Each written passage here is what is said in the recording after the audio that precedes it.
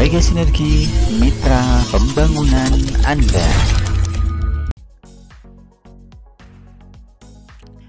Assalamualaikum warahmatullahi wabarakatuh. Apa kabar teman-teman semuanya? Sahabat Mega Sinergi Semoga kita senantiasa sehat Panjang umur dan juga murah rezeki ya.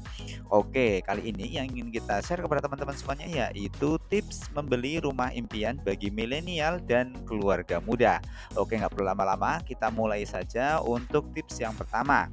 Yang pertama yaitu pilih developer yang terpercaya jika Anda memakai jasa developer untuk mendapatkan rumah, maka tips membeli rumah yang pertama adalah memastikan developer tersebut memiliki latar belakang yang jelas. Sudah bukan rahasia umum lagi bahwa profesi tersebut banyak dimanfaatkan seseorang untuk melakukan penipuan. Karena itu, cek terlebih dahulu riwayat developer. Atau Anda juga bisa meminta saran dari teman terdekat. Tips yang kedua yaitu pertimbangkan harga yang ditawarkan. Ketika developer atau pemilik rumah sudah menawarkan, usahakan jangan langsung menerima. Anda harus memperhatikan faktor lain untuk menilai apakah harga tersebut sudah sesuai dengan rumah yang ditawarkan. Anda juga bisa melakukan perbandingan harga dengan properti lain sebagai bahan dasar pertimbangan. Tips yang ketiga yaitu pastikan sistem pembayaran yang sesuai ada beberapa sistem pembayaran yang bisa Anda gunakan dalam membeli rumah. Anda bisa membelinya secara lunas di awal atau bisa memanfaatkan fasilitas kredit pemilikan rumah atau KPR dari bank. Jika memilih sistem KPR, maka Anda harus mengurus pengajuannya jauh-jauh hari karena prosesnya yang tidak sederhana. Tips yang keempat yaitu pertimbangkan besaran uang muka. Jika Anda memilih sistem kredit, besar uang muka adalah hal utama yang harus Anda pertimbangkan. Dalam tips membeli rumah baru secara kredit, Anda harus memastikan bahwa Anda bisa membayar sisa angsuran-angsuran selanjutnya dari uang muka yang telah disepakati. Kemudian tips yang kelima yaitu sesuaikan dengan budget dan juga kebutuhan. Pada dasarnya, fungsi rumah adalah sebagai tempat berlindung. Untuk itu, pilihlah rumah yang menurut Anda nyaman dan bisa memenuhi kebutuhan Anda. Namun, sesuaikan juga dengan budget yang Anda miliki. Jika budget tidak begitu besar, Anda bisa mendapatkan rumah subsidi harga terjangkau. Dan ingat, tips membeli rumah subsidi yang penting yaitu memastikan legalitas tanah dan reputasi pihak pengembang.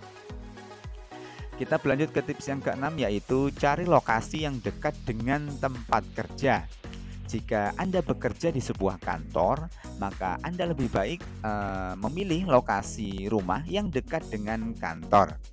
Hal ini akan membuat Anda lebih hemat dalam biaya transportasi dan juga waktu. Tips yang ketujuh yaitu perhatikan fasilitas dan lingkungan sekitar. Selain rumahnya, Anda juga harus memeriksa bagaimana keadaan dan situasi lingkungan sekitar. Tentu, Anda akan lebih nyaman dengan lingkungan rumah yang bersih, bukan? Maka dari itu, lebih baik hindari rumah yang berada di lingkungan yang tidak terjaga dan cenderung kurang bersih. Selain itu, perhatikan pula akses jalannya. Usahakan memilih rumah dengan akses mudah kita berlanjut ke tips yang ke-8 yaitu anggap rumah sebagai investasi jangka panjang. Investasi properti saat ini sangat digemari. Bagaimana tidak? Nilai properti di Indonesia hampir selalu naik tiap tahunnya.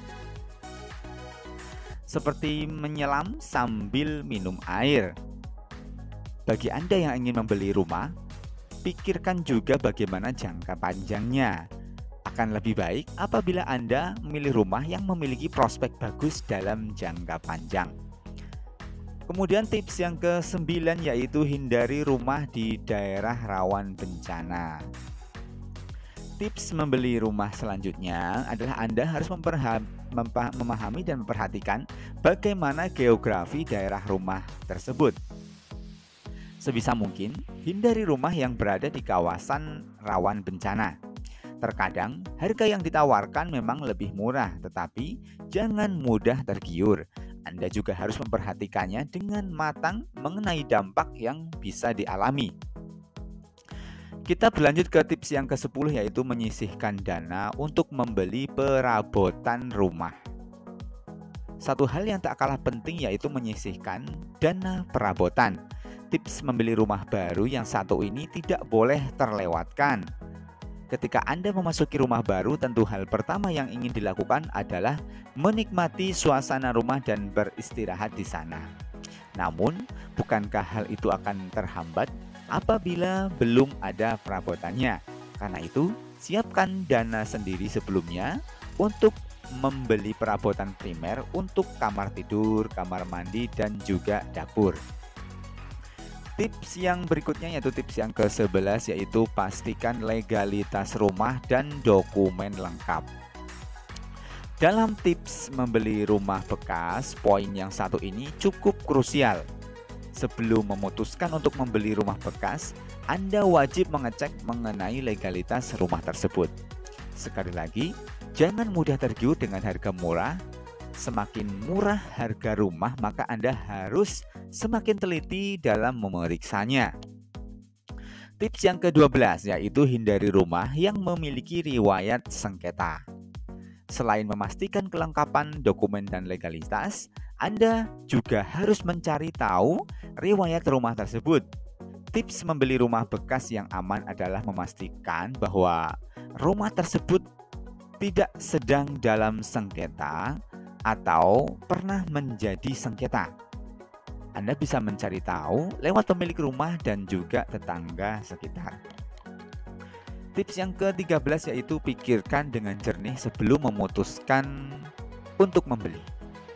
Setelah mempertimbangkan beberapa hal di atas, jangan terburu-buru memutuskan.